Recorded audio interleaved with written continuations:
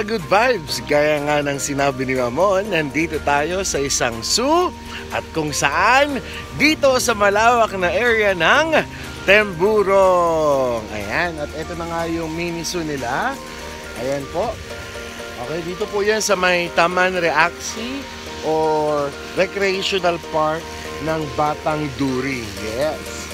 Okay, so para sa kaalaman po ng lahat, ano, ito po ay bukas mula alas 8 hanggang alas 4.15 ng hapon. At syempre po, sarado po ito kapag Friday. Ang sarado nila nag-start agad ng uh, alas 11 hanggang alas 2 ng hapon.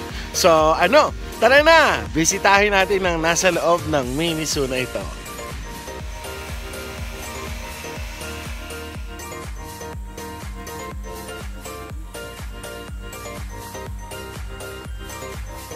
Here.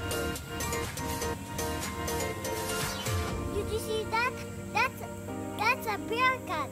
Did you know that? Did you see that too?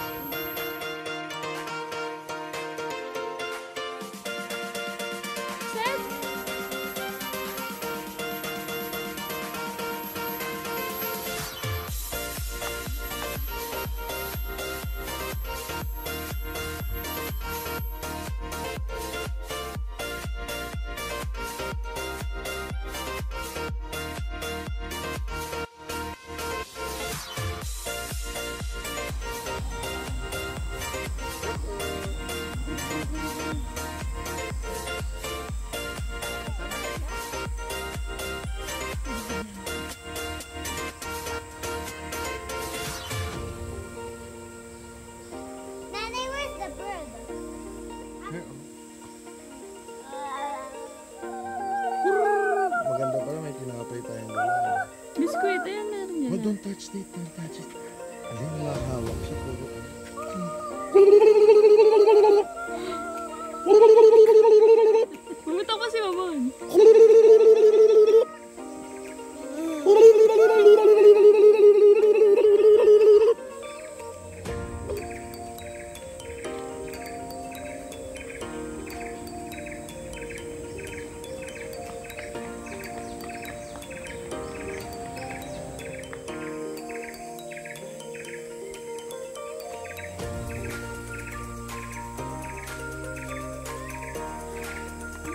Nakakain na. Ayun na, ayun.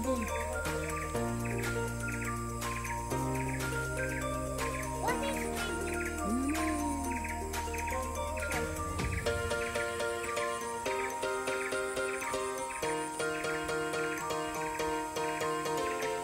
Pangit mo na, sumusunod.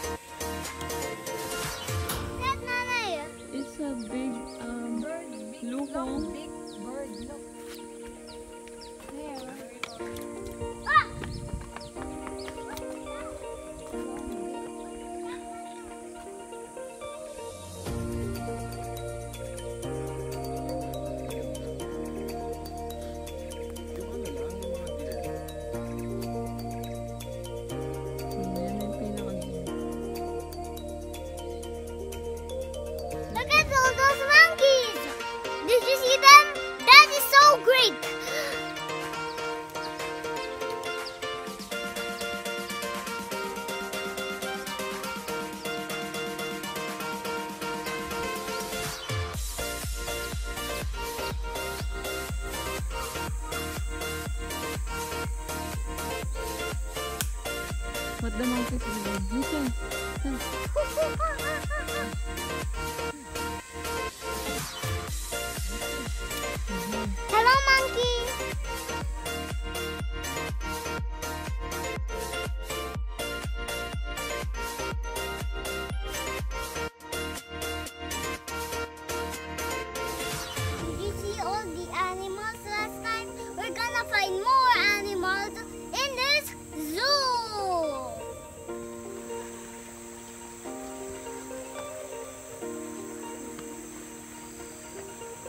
Ayun na nga po, naikot na namin ang mini zoo dito sa may Taman Batang Duri, Taman Mini Zoo ng Temburong. Yes! Or Recreational Park ng Temburong. So, konting tips lang po, no? Magdala po tayo ng insect repellent, mosquito repellent, yan. Tapos, ah, tubig, pamunas, dahil medyo mainit din. Ang karaniwan po makikita dito ay halos mga ibon, yan, ganyan, iba't ibang klase ng ibon. Marami po dito. So, at tapos po niya, pwede po kayo gumawi doon sa may park at kumain na ng lunch or ng agahan. And don't forget to like and subscribe.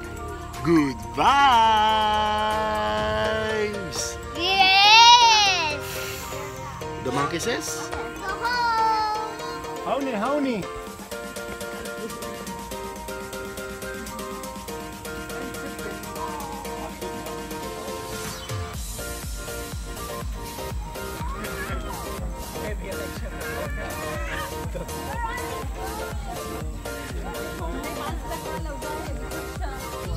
all the animals. This is so great to see you again. Bye.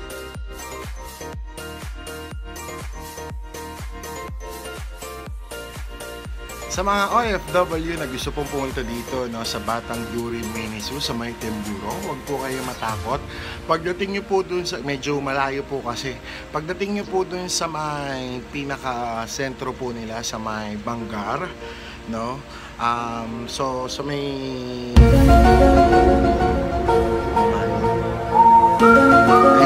roundabout. Tatlo po yan. So, yung pinanggalingan mo, tapos may dalawang exit. Yung isa, diretso po yan papunta dun sa ah, immigration. Kung naaalala nyo pa po yan. Tapos, doon po kayo dapat pumasok sa may Batang Duri. Sa may area po yun ng Pasar Malam nila.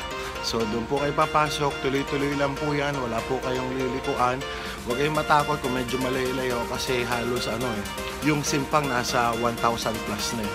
So, ayun po mga ka-good vibes, mga OFW Filipino dito sa Brunei. Bisitahin nyo na po ang mini zoo dito sa Temburong! Yes!